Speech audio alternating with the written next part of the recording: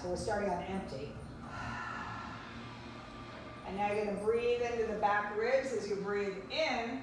You're going to feel your ribs pressing into the rib, into the mat, into the carriage behind you. Open up those ribs so you feel the pressure. And exhale slowly. Five, four, three, two. Completely exhale out all the air. Inhale through the sides of your ribs, expanding wide. And exhale, six. Five, you want to move back so your shoulders are touching your shoulder rest. You have to be touching your shoulder. Yeah, just lightly. And now, if your knees are too far away, then you got to pull too in. And one more time. Inhale, and the front ribs. And exhale, seven, six, five, four, three, two, one. And last time, breathing in the front, the side, and the back. So full expansion of your rib cage. And exhale, eight, seven, six, five, four, three, two. Completely exhale out all the air one. Like squeeze it out. Now you're gonna add pelvic tilts. So very calm. Take an inhale and just gently tip your pelvis towards you. Feel your tailbone float off the carriage. And now go the opposite direction. Rock forward and feel your tailbone press down and your low back float up. And continue as you rock back, tailbone crawls up. And gently rock forward and arch. And keep going. Just rock back using your low abdominals. And so we don't want to use our leg muscles. So that's why the circle's over your legs. As you're rocking back and forth, keep the leg muscles quiet. And rocking back. And rocking forward and end in your neutral. Hold the neutral, and now put the circle between your knees. Good. And hold your pelvis in neutral. Good. Take a nice inhale. And as you exhale, gently tweeze the circle to parallel. So it's a light tweeze of the circle, bringing hips, knees, and feet to parallel. And slowly release and open. And exhale, tweeze. If it bothers you, you can put it a little bit more towards this part of your knee so it's less bothersome. Exhale, tweeze again without letting your waist change length. And slowly release and open. And exhale, tweeze the circle a third time. And slowly. So you want to feel that tweeze from your inner thighs all the way to your sit bones. And exhale, tweeze one more time. Pause, hold this one and little pulses. Six, five, four, three, two, last one, and slowly open. And now put the circle over the knees on the outside. And now press, yep, and now you're to gently press the knees apart. Keep your tailbone down. As you press the thighs apart, feel the outsides of your legs. Yes, yes, yes, just like that. Hi, Mara. Hi. I saw you out the window. Uh, I said, oh, you're coming to class because I didn't see something. I just, uh, That's okay. And I just saw you out the window. I was like, oh, no, she's coming up. Uh -huh. And slow release. And press the thighs apart and hold, hold, hold. And slow release one more time. And light press and hold, hold, hold, and slow release. Great. Now take the circle in your hands, elbows down next to your ribs, and move your feet a little further apart. Elbows are close to your ribs, thumbs on the outside. So you're just stabilizing your circle and your shoulders. Now you're going to tip your knees to your right, and you're going to reach your right knee away on the diagonal, and you almost lightly push through your left heel so you feel that stretch open of your right hip. But your head in your circle and your left shoulder blade have to stay on the carriage. So see how that came off? Put it down. Get it down. Nope, this stays here. Bring this down on the carriage so the legs can't go so far. And exhale, roll back to center. So you can only go as far as you keep the upper body stable. And now you tip to the other side, keep the right shoulder blade down, And that's why you have the circle to help you, see? Feel that? And exhale, slowly come back. So we're using low abs. And tip again to the right, reach the right knee, right, or left knee, left hip, sorry. But this stays down. And exhale, return to center. And tip to the left. So your right knee reaches away. Reach the right hip away, so reach, reach, reach. So feel that diagonal line. Yes, you like that? But this stays down, down. Squish on my fingers. You don't let lift off my fingers. Yeah. And slowly come back. So that's the point of the circle. All right, now we're going to bring your feet together, stretch your arms up in the air. Now we're going to do a couple of these. So you're holding the circle between your palms. I want everybody to reach the circle to the ceiling, feel your shoulder blades come off the carriage. Now retract and put your shoulder blades on the carriage. Lift the shoulder blades up and off. Notice you're stretching and pull them back down, contract. And lift up and off and down and contract. And up and off and down. And now keep them on the carriage and tweeze the circle. One, and slow release. Exhale, press two, and release. Exhale, press three, and release.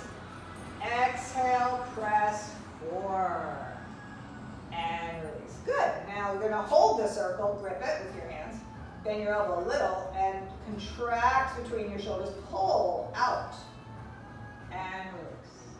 So it's a light hold and a light pull. So you're pulling, not pushing. So hold the circle and pull. Yeah. So where do you want to feel this? Under and between the shoulder blades. Last two. And last one.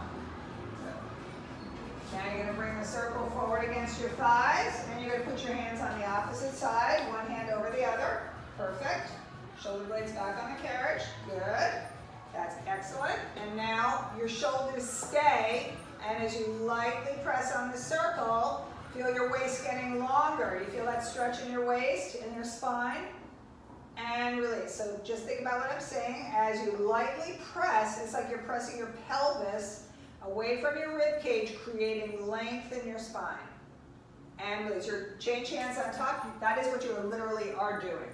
As you lightly press, this is a tractioning, a self-tractioning technique. And release. So I like this, this circle closer to the pelvis so you feel that more. And because if it's up here, you feel your knees more. Yeah. And press and lengthen. Good. Right, last bit is put the circle opposite your nose on the back of your head. Your hands are opposite over your forehead, palms to the ceiling. So you're lying down like that. Now you're going to start by nodding your chin. Your head stays back on the carriage.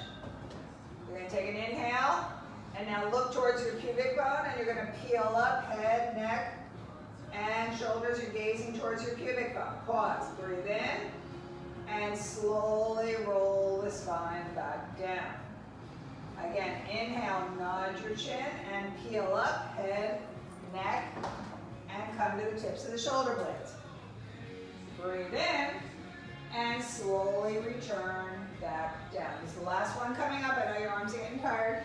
Nod your chin and peeling up. Beautiful. Excellent. Breathe in last time and vertebra by vertebra, slowly lower down. And put your circle off to the side on the floor. Excellent day. And let's keep your heels on the foot bar, arms at your sides, just like that. So shoulders are stable. Now your heels are resting on the foot bar, you're gonna flex and point your feet. Flex, point, flex, point, flex. So your feet are about a fist apart. Okay, so bring your feet to feel my hands closer. Yeah. And that's where you're flexing and pointing your feet, like that. All right, now when everybody finished with your feet flexed, feel like the front of your, yep, I see the bottoms of your feet. You're pushing on your heels. Now keep your feet like that and push the carriage out. And you're standing up with feet flexed. Up, stay there. Don't come out of it. So you're standing up there, everybody stay at the top. Let me see you standing at attention. You're starting with straight legs. So feel like you're trying to pull your sit bones towards each other. Feel active at your base of your glutes. And here we go. Bend the knees, pull the carriage in, and press out. Eight times. One. Nice. Good alignment. And pressing out two. Bend and stretch three. Bend, or you're a little quicker here. And four. Yeah. There you go. And five. Good. And try to move slowly so you feel it. Six each time. And seven. On the eighth one, I want everybody to push up and now press down through your heels. I want you to grow an inch longer in your waist by pressing deeper into your heels, shoulders back. Now bend your knees, keep those feet flexed, and pulse. Accent up towards your back of the room. Three, four, five, six, seven, eight, and finally push the carriage back. So again, the reason we're flexing our feet is to work the muscles on the fronts of the shins. Now hold that and pivot open to Pilates V and bring your heels until you feel you're squeezing together at the center. So get your heel up a little bit more. There you go. And bend and stretch. Bend and stretch. Eight times. Bend and stretch. So your knees are shoulder width when you're bending. Three. Good. Bend and stretch. Four. Keeping that narrowness. And five. A little bit more here. And six. So follow your second toe with your knee. There you go. All right, and finish your next one at the top and feel, yep, stay there. Feel your heels, your calves, your inner thighs, your sit bones zip together. And now, unzip, bend to a Pilates V and pulse. Accent up. Now as you're pulsing, Press the heels together. Four, so you feel it more. Yeah, like that. You feel it just by pressing your heels together. You feel your inner thighs more. Yeah, don't you notice that? And finally, press all the way up. Zip up to your sit bones. And bend the knees, bring the carriage in. Take your knee and move it further apart. So you should see your heels inside the frame of your knees. So when you move your knees apart, look down. Can you see your heels? Then you know you're okay. Press the carriage back, stretch up tall, stay there for a moment. Hold your feet in parallel. Feel like you're bringing the heels towards each other. Plant those feet in your V. And now bend and stretch. So you're directing your knees over your second toe. Bend and stretch two. Bend and stretch three. That's it. And four, keeping the waist nice and long. Five and six. So every time you stretch the legs straight, seven, feel like you're pulling the heels towards each other. Whoops, we're turned out still. Somehow you got turned in. Not sure how that happened. We're still turned out. Yep. All right, now finish at the top. Stay there with straight legs. Stay. Feel like you're pulling your heel. Stay. Just pull into my fingers with your, don't change anything. Just pull, pull, pull. There. And now bend the knees wide over that second toe. Pause and pulse. Accent up, up. Three, so the range. Four is easy. We're bending our hip, our knee, our ankle joints. Our feet are still. And finally, press all the way up to the top again. Stretch tall. Best posture, shoulders back. And bend the knees, come back in. Take your feet together at the middle of the foot bar, parallel. Now roll down, so uh, move down, so you're wrapping the balls of the feet like a bird. Grip the foot bar with your feet. Contract your arches. Wrap your toes on the foot bar, literally.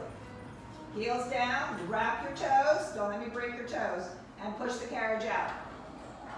And exhale in. So can you wrap those toes more? Try to bend them. Inhale out, down. So they would wrap them on there. Exhale, try, yeah, like that. Hurts, right? A little bit? Inhale because you're not used to doing it. Exhale, pull in. So you need to do this. Get those toes on here. You're young. You have no excuse. Inhale out, exhale in. It's all about age. Inhale out, exhale in. So wrap those. So one more time. Exhale, pull back in. All right, so if you work it, remember this, motion is lotion. If you use it, you won't lose it. Turn out your knees and feet to Pilates V. That's a good one. It is good. I learned it from a student I taught last weekend.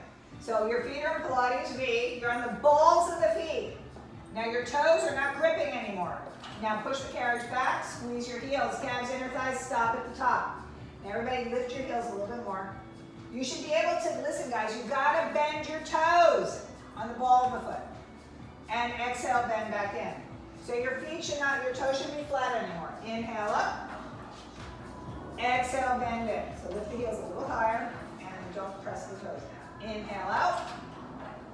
Exhale, bend. So your toes need to be flexible. Inhale up. That's how you walk.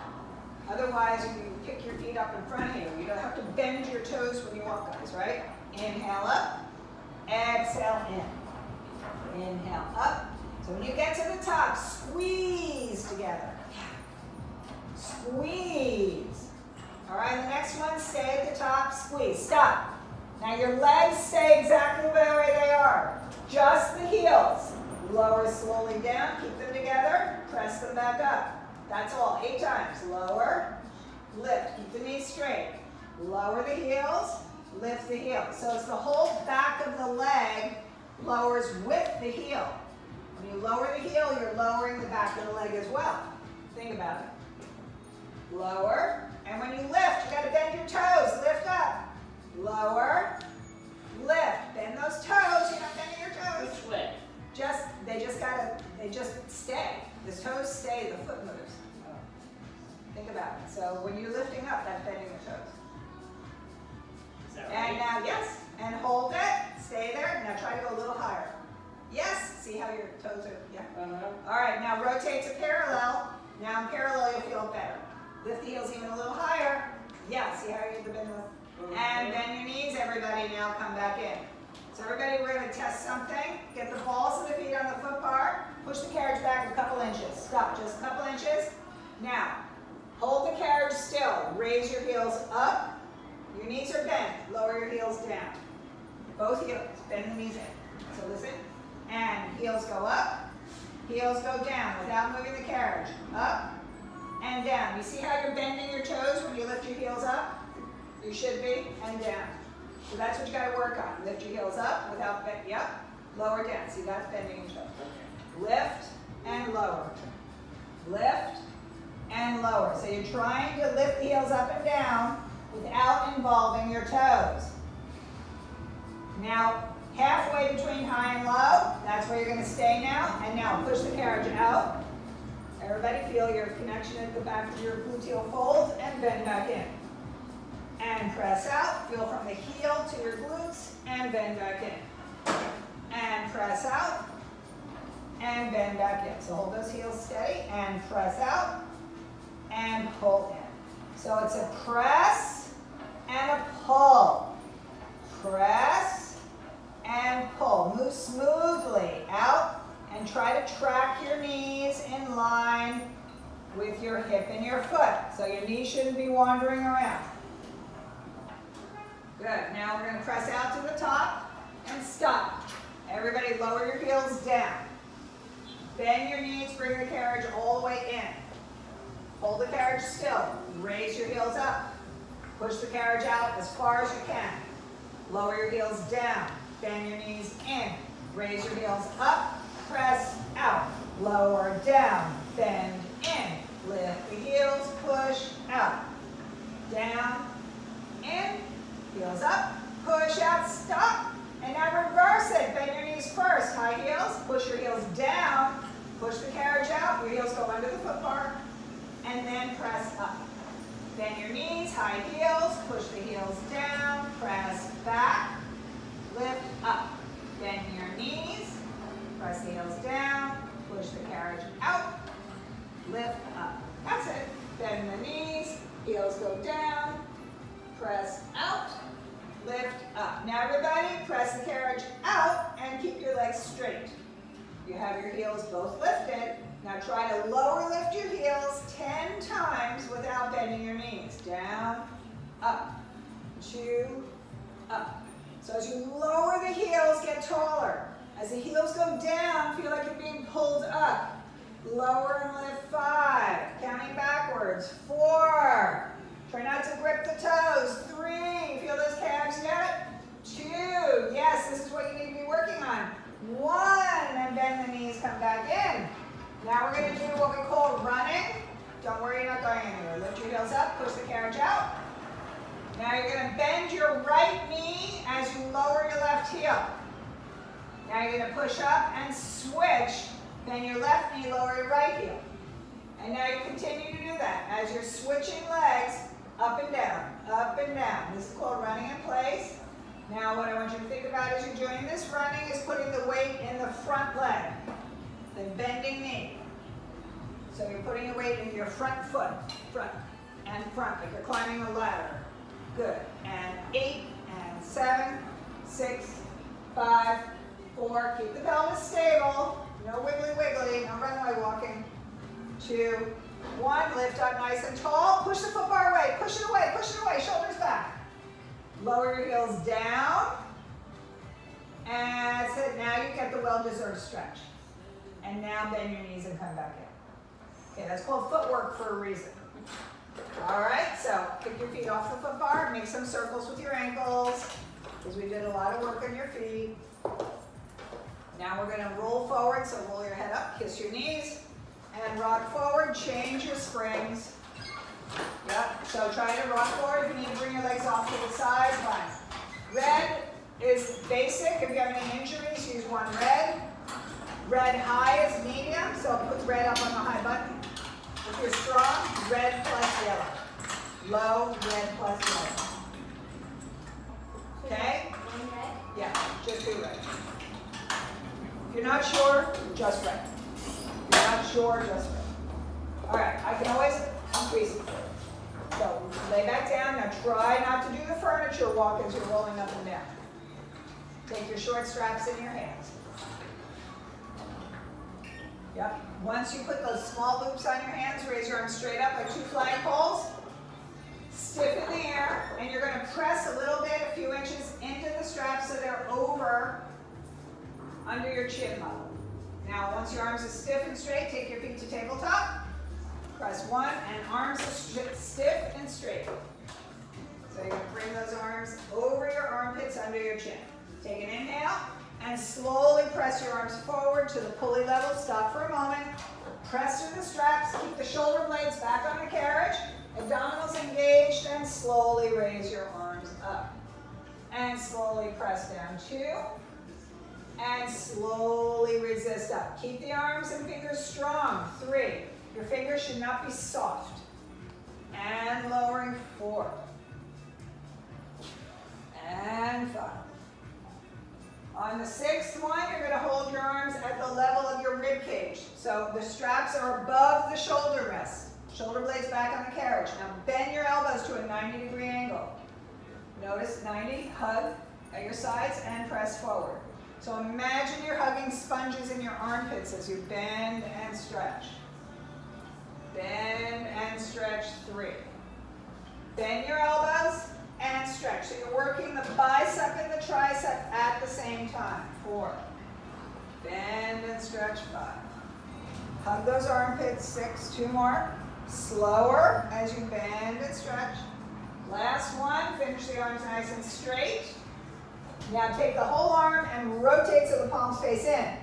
So now your hands are facing into your sides and slowly open out like a superhero, opening a cape and pulling in. As you open and close, slowly you're spreading an imaginary cape out and in. Open and close, three. Meanwhile, you're zipping up and holding those legs in the tabletop, four, like you have a martini or a cup of coffee on your shins, depends on what you're into. And holding arms at your sides, stop there. We're gonna go sideways triceps. Everybody first, activate between the shoulder blades. Roll the shoulders back. No, your arms are here at your sides, just pull them in. And now side bend. So you're gonna, when you bend sideways, you look like a little bird. Bend and stretch. So elbows stay. That's it. Yep. So that rotation is coming from the shoulder. If you feel between your shoulder blades, the muscles contracting a little to hold your shoulder blades in place. Feel that? Then you're doing a good job. So you want to feel between the shoulder blades as you're doing this. All right, so that sets the shoulders in place. And now finish the arms straight again, turn the palms down, lift the arms back to the ceiling. Move your arms out to a V. Take a moment, place your feet on the foot bar just for a second. Make sure you feel good. Engage your abdominals, bring the arms just a little bit higher. There you go. Now bring your feet back up, and now you hold your arms still. Right there, you're gonna make little circles with your arms. So as you're pressing into the straps, you're gonna feel your armpits working, your ribs working tiny little circles up to the corners of the ceiling. So they're not big circles. The circle's no bigger than a saucer. Saucer size. Do you know what a saucer is? Tea and coffee. A little saucer? Small. Elbow straight, stiff. So when you bend your elbow, it means you're not using your shoulders. So think about it. Lock your elbow straight. Straight. And go the other way if you haven't changed directions. Straight elbows. Straight. Imagine you have paper towel tubes over your elbows. See how you're bending your elbows? This is called bending. That's called bending. We want to keep them straight. Huh? Yes, it's hard. All right, now hold the arms up. Take a rest again. Put your feet on the foot bar because that was hard for a second. Those are actually very challenging. All right, now we're going to do arm pulls all the way down. So arms up again, lift your feet again. Pull those straight arms down on the diagonal and back up to the corners of the ceiling. So pull all the way down till you feel it next to your hips and rib cage and back up to the corners. And pull down on the diagonal and up to the corners of the ceiling. There.